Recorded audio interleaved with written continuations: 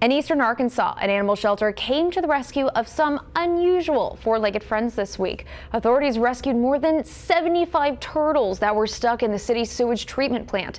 This tank is part of the sewage treatment plant for West Memphis. But see that little head bobbing in the corner? That's one of nearly 80 turtles caught in this tank this week. They do not know the difference between uh, a pond and a sewage pond. They got just sucked into the pipes and then got put into another area that, you know, the, the water gets dumped into.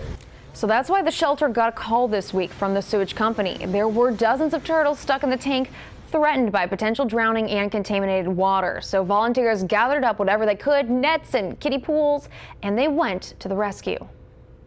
So 76 turtles saved. A lot of them were hanging on the sides, just trying to just stay afloat. So, you know, they, they would not have survived. Now all those turtles are safe and back in the Mississippi River. Also story to hear.